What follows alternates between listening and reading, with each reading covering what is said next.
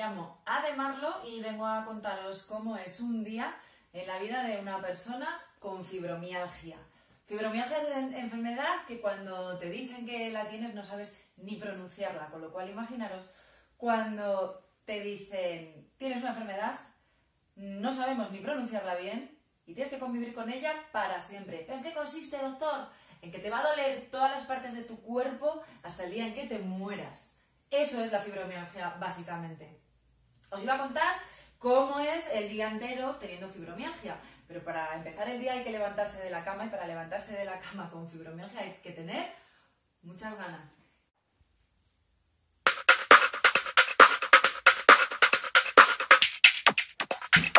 Eh, normalmente, cuando estás dormida, el dolor o bien no te ha dejado dormir o bien te despierta entre la noche. Lo que me suele suceder a mí es levantarme con un dolor brutal en las piernas que casi no puedo ni mover, me asusto muchísimo con el despertador y suelo dormir eh, con los brazos debajo de la cabeza, por lo tanto cuando me levanto eh, están completamente dormidos y cuando tengo que coger el móvil para eh, apagar la alarma no puedo ni cogerlo por los brazos. Y cuando me levanto me suele pasar otra cosa cuyo término médico desconozco, pero que yo llamo el cerebro torcido. Porque yo me he puesto de pie, pero mi cerebro todavía no. Entonces me teníais que ver por la mañana con el dolor de piernas, con los brazos dormidos, con el cerebro todavía torcido yendo de un lado para otro. Y eso es simplemente levantarse de la cama. Tienes que desayunar, tienes que vestirte y arreglarte, valorar si ese día tienes demasiada cara de enferma como para maquillarte o para maquillarte más todavía y salir a tu trabajo, porque recordemos que en un sistema capitalista, por muy enferma que estés, tienes que trabajar.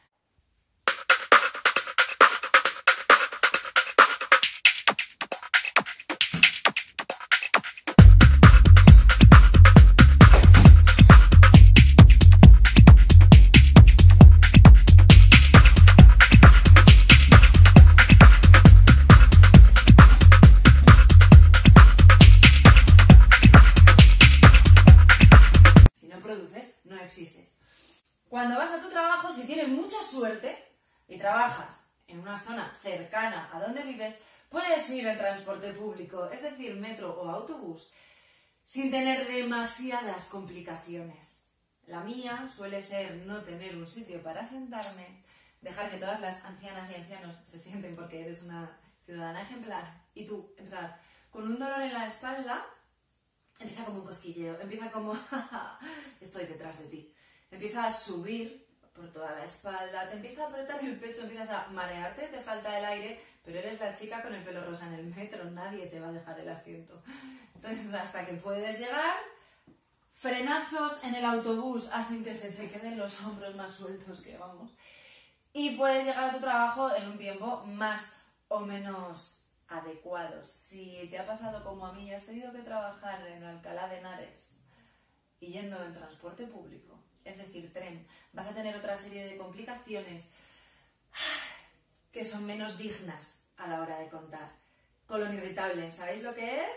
Sí, tenemos muy mala leche y nos cagamos por la patilla. Colon irritable.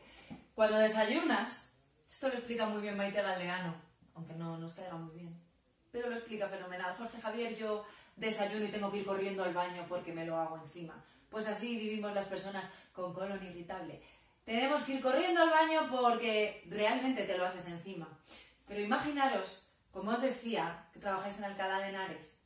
Tienes que llegar desde tu casa hasta Atocha, en Atocha coger ese cercanías eterno y llegar hasta tu puesto de trabajo. Me conozco todas las estaciones que hay entre Atocha y Alcalá de Henares y os podría decir en cuáles se caga mejor ninguna. Y eso contando con que te pase en Renfe, porque si te pasa en el metro, mmm, vuela, pero no vuela solo el metro, lo que vuela es tu intestino. Primera entrevista de trabajo de mi vida, eh, me quedo en casa de mi hermano porque él es el que me va a acompañar a, a la escuela donde me iban a hacer la entrevista. Eh, efectivamente, desayunamos y ya os he contado lo que pasa cuando desayunamos. No me dio tiempo a hacer todo lo que tenía que hacer antes de salir de casa. Entonces nos metimos en el metro y los sudores de la muerte se apoderaron de mí. Eh, me empezaron a dar retortijones y yo solo podía ir agarrada al metro esperando no marearme. Yo solo veía negro, no era capaz ni de ver los nombres de las paradas. Mi hermano estaba a mi lado riéndose todo el tiempo, muchas gracias colega, y ya cuando por fin conseguimos salir a la superficie, yo iba al borde del colapso intestinal, me dijo mi hermano, entra en un bar, disimuladamente pide una botella de agua y pasas al, al bar. La idea era, hola, ¿me pones una botella de agua? E ir al baño. Lo que sucedió en realidad fue, ¿me pones una botella de agua? Después, cuando llegas a tu puesto de trabajo, yo soy maestra, eh, entonces eh, más o menos lo puedes llevar, aunque sí que es cierto que el nivel de ruido que manejamos en los colegios es increíble.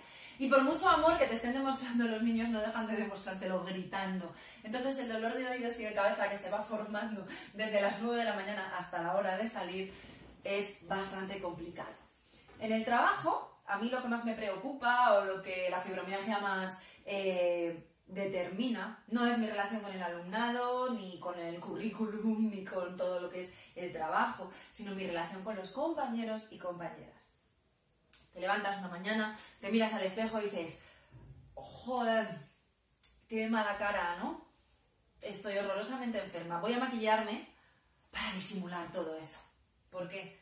Porque cuando llegas al cole, siempre va a haber alguien que te diga, ¡Uh! Tienes muy mala cara. Entonces, claro, tienes que jugar con el me maquillo o no me maquillo. El problema está en que nunca sabes cuándo te van a decir que tienes muy mala cara.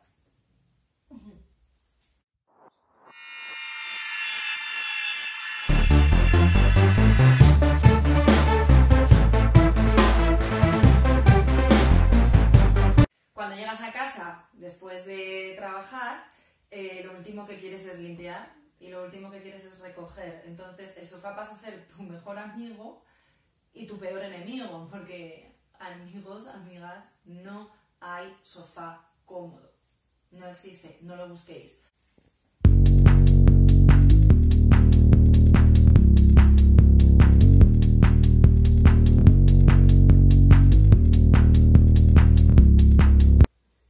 El periplo que seguimos las personas con fibromialgia cuando empezamos a decir me duele aquí o me duele allí es bastante largo y tortuoso. Porque cuando tú dices que te duele aquí y aquí y aquí y aquí y aquí y todas las partes de tu cuerpo te duelen cuando eres pequeña, la respuesta que sueles recibir de tu entorno es mm, no. ¿Cómo que no? Mm, no te duele tanto. Entonces minimizan las experiencias de niños y niñas y adolescentes y sobre todo de mujeres. Porque si eres una mujer recuerda que da igual lo que te duela, les da lo mismo.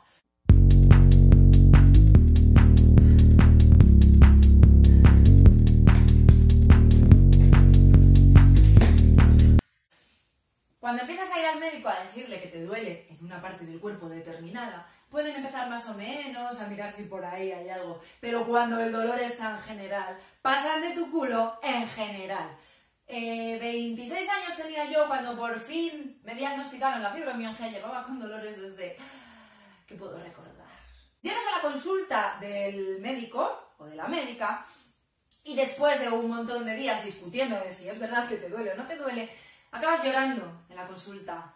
Pues nada, estaré loca, me lo estaré inventando, pero a mí me duele. Cuando consigas decirlo llorando, cuando consiguen verte destruida, es cuando quizás te empiezan a tomar más en serio, quizás algún médico o alguna médica ya te diagnostique fibromialgia y cuando consigues ese diagnóstico llega esa luz al final del túnel. ¿Habrá tratamiento? ¿Habrá algo que podamos hacer? Te dan el alta porque como es una enfermedad crónica, no hay seguimiento. Claro, precisamente porque es crónica deberíais seguirme.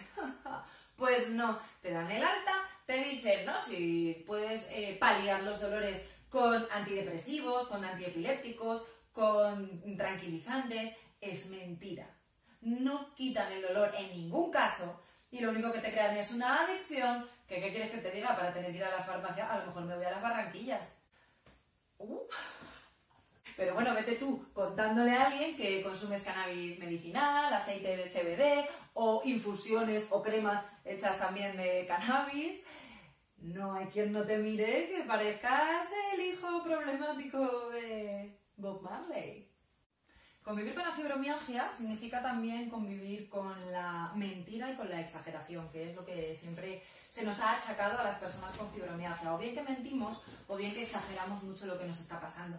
Eh, otra cosa que me encanta de tener fibromialgia y la gente es no te quejes tanto o lo que tienes que hacer es personas que no tienen la enfermedad, personas que no saben qué se siente al vivir con ella, te dan lecciones de lo que tienes que hacer o te explican que si te quejas es cuando peor estás.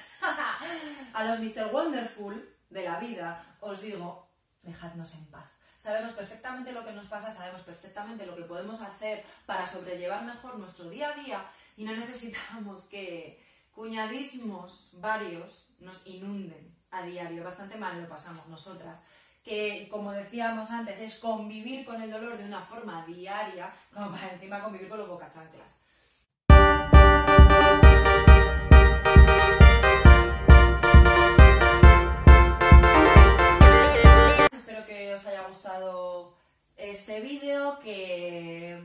Planteéis que existe enfermedades que no conocemos y que existimos personas que convivimos con el dolor a diario y que tenemos que lidiar con ello Pedimos un poquito más de investigación porque hay poquísima y no llega a las consultas. Y pedimos caso, pedimos que se nos haga caso, que podamos quejarnos abiertamente, porque quejarse no es malo, si nos quejamos es cuando nos vais a empezar a ver. Y os pedimos empatía hacia las personas que tenéis alrededor y que se quejan constantemente de sus dolores, porque les duele.